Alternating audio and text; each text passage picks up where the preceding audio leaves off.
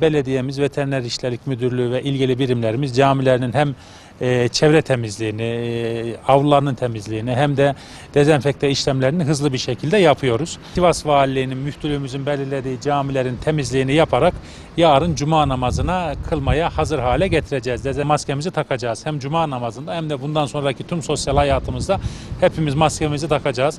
Sosyal mesafemize dikkat edeceğiz.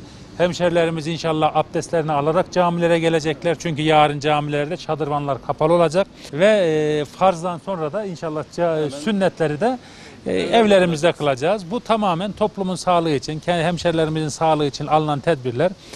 Tüm dünyayı etkileyen bir salgına karşılık biz kurallara uyarsak tedbir salgından çok daha güçlüdür ve inşallah bu süreci hep birlikte atlatacağız. Biz bu